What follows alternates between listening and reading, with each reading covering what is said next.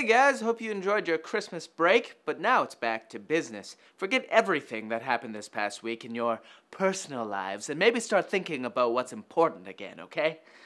The tech news.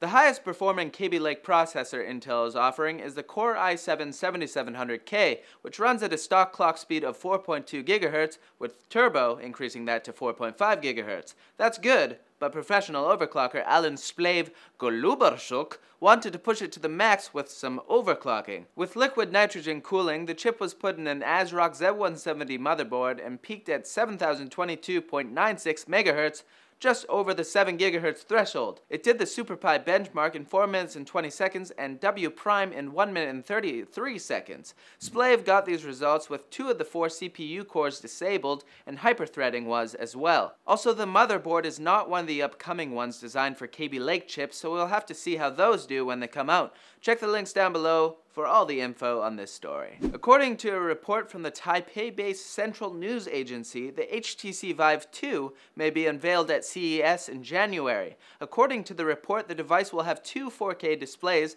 an upgrade from the current 1080 by 1200 resolution per eye. The refresh rate also improves from 90 to 120 Hz. Perhaps this new model will push the first Vive down to a bit more of a reasonable price. This is just a rumor at this point, but if it were actually to happen, that would be some pretty exciting stuff. And as Jack mentioned yesterday, we will be at CES next week, so we will make sure to uh, check if this is uh, for real or not.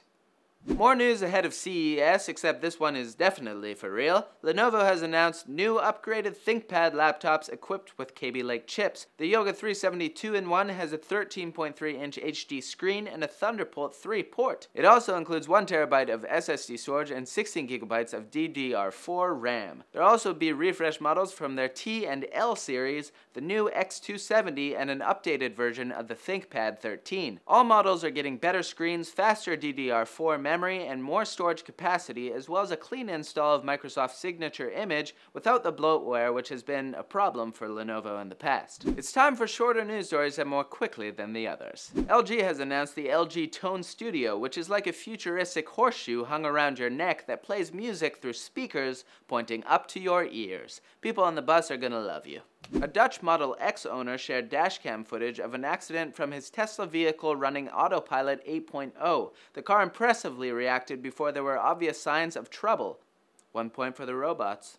Speaking of robot cars, Ford unveiled their second generation driverless Fusion Hybrid, and it looks a lot more normal than the first one. South Korea has fined Qualcomm $850 million for its unfair patent royalty activities, which limit practices of other chip makers like Samsung, Intel, and MediaTek. I talked about the Lenovo laptops, and the company has also announced two docks. The Thunderbolt 3 dock includes two display ports, HDMI, VGA, five USB 3.0 ports, gigabit Ethernet, a headphone jack, and a Thunderbolt 3 port. The USB-C dock includes all those things, but a USB Type-C port in place of the Thunderbolt 3 port, but no HDMI, it's a little cheaper. Sources for all of today's news stories can be found in the NCIX forum post linked in the description below.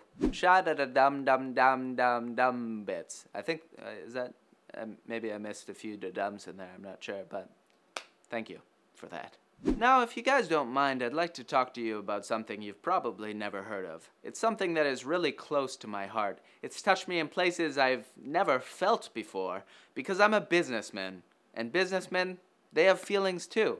So, let me tell you about Windows.